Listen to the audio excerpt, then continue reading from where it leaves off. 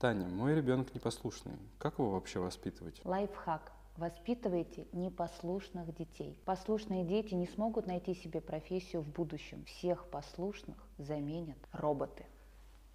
Девчата, кто в разводе, кто при этом имеет детей и не хочет общаться с бывшим, не общайтесь, но сделайте всего две вещи для ребенка чтобы он чувствовал себя полноценным и счастливым по жизни. Первое. Для ребенка важно хотя бы раз в год видеть, как родители с уважением смотрят друг на друга. Видеть хотя бы раз в год, как родители способны подержаться за руки или как старые приятели при встрече обняться. И второе. Делайте ребенку родительский бутерброд. Многие дети проводят с мамой 24 часа на 7, но при этом не чувствуют ее любви. Почему? Потому что многие мамы выдают заботу за любовь, не зная, в чем различие. Именно этому я посвятила свою книгу «Комиксы для папы, мам. Навигатор для родителей». Забота и любовь – это две разные вещи. Забота – это то, что может сделать человек определенной профессии. Готовить еду – повар, лечить – доктор, учить – учитель. А что делает мама? Мама